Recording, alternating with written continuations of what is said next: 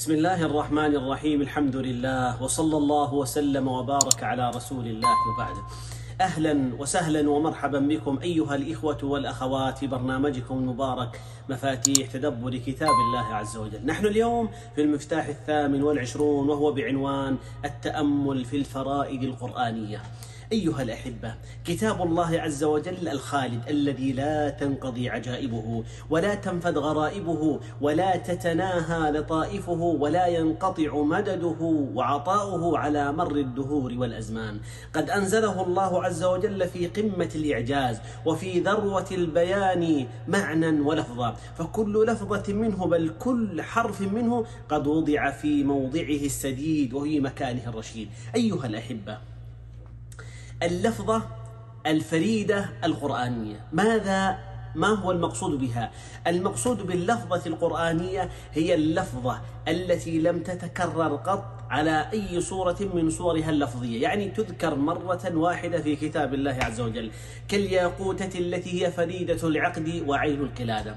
وقد تحدث عنها العلماء القدامى كابن القيم في بدائعه وابن الرفا في رائده وغرر الفرائد للبغدادي ونظم الفرائد للدمشقي وغيرهم.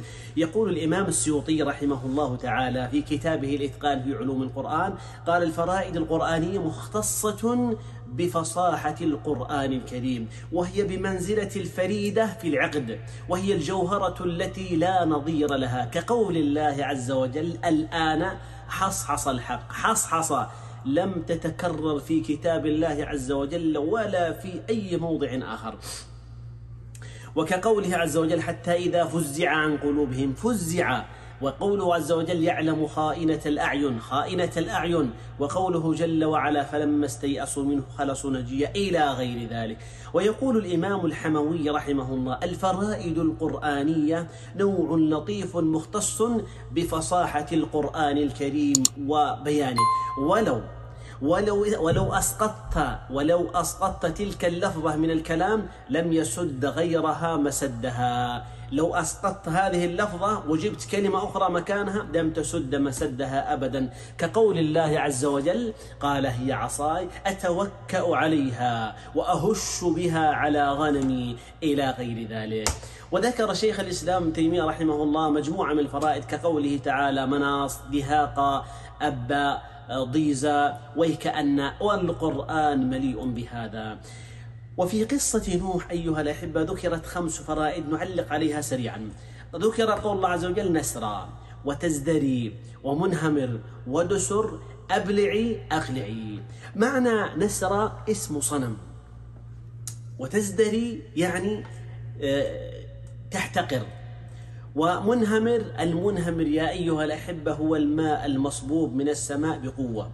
وقد قيل أن المطر الذي أصاب الأرض في عهد نوح عليه السلام استمر أربعين يوما وهو منصب عليهم وأيضا الدمع يقال له منهمر الدمع المنهمر أيضا. أما الدسر فهي, المف... فهي المسامير. ذات ألواح ودسر هي المسامير. أبلعي تشرب الماء وغيبيه وأما قوله عز وجل أقلعي فالمقصود بها الإزالة والكف. والمعاني في هذا واسعة جدا لكنها ألفاظ لم تتكرر في كتاب الله عز وجل. والله أنها بحق أن نقف عندها ونتأملها ونتفكر فيها وننظر في عظم هذا القرآن الذي كل يوم فيه جديد بل كل لحظة فيه جديد لمن يتأمل ولمن يتفكر في كتاب الله عز وجل. يقول الإمام القرطبي رحمه الله لو فتش لو فتش لو فتش كلام العرب وكلام العجم ما وجد فيه مثل تلك الآيات الكريمات على حسب نظمها وبلاغتها وصفتها واشتمالها على المعاني العظيمة التي في كتاب الله سبحانه وتعالى فهي دعوة.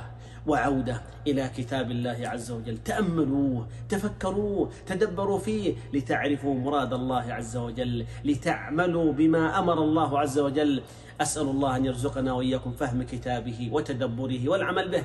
وصلى الله على نبينا محمد. والسلام عليكم ورحمة الله وبركاته.